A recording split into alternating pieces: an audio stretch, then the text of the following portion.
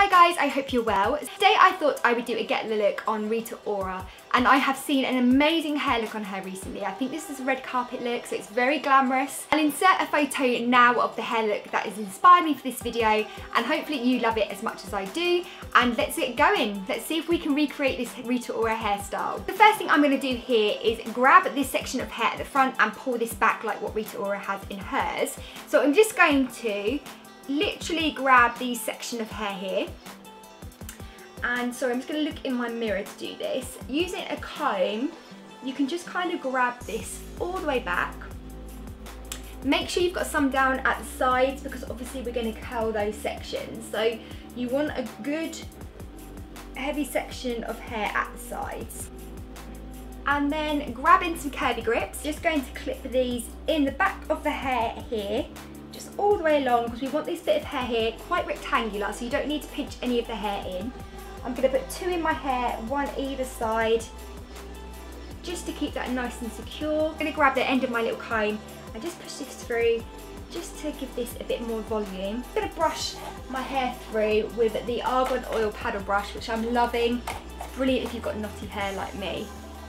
First things first, I'm going to give it a bit of a back comb. Rita's got a lot of volume around the front of her hair here, so I'm going to add that back into my hair, because as you can see, it's gone a little bit flat today. So, just grabbing random sections of hair, using this back combing brush by Lee Stafford, which has the double um, bristles and is really, really good for kind of getting right in there, the back combing. You just want to back comb this ever so slightly, and then you can kind of get that out of the way. I'm to concentrate mostly on the hair around the face like so. So you kind of can back comb that like so. And then you can also do these underneath sections as well because every bit of volume helps. So just keep back combing those in.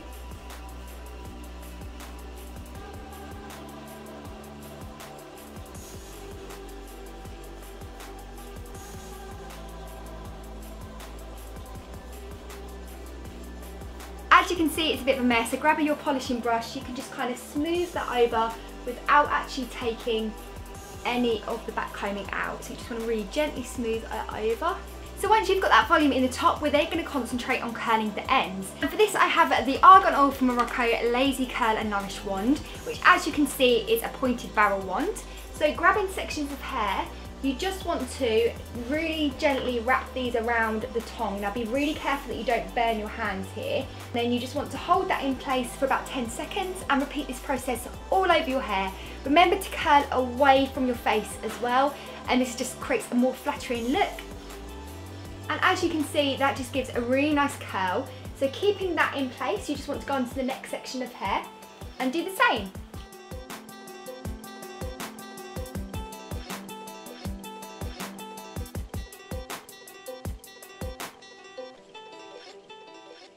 That we've curled all of our hair, I'm going to pop on some Hold Tight Barnet Hold Hairspray just on the ends, just to make sure these curls stay put when we brush them through. Grabbing your polishing brush, we're just going to brush through the ends, just to make that wave a lot thicker and not a not, lot more of a wave than actual curl.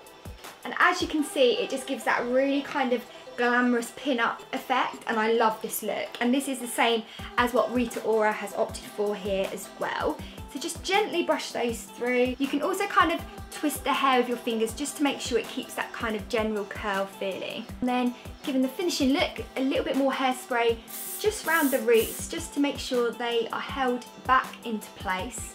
Because as you can see, Rita Ora's a kind of off her face a little bit more. There you go guys, that is finished Get The Look by, by Rita Ora and I hope you enjoyed this Get The Look. I love doing these ones. If there's any celebrity hairstyles you'd like to see how to do then make sure you leave the names of those or the photo links in the comments below and I'll see what I can do. Get to like this video, subscribe to the channel for loads more hair tutorials and I will see you again soon for another video. Thanks for watching guys and see you soon. Bye!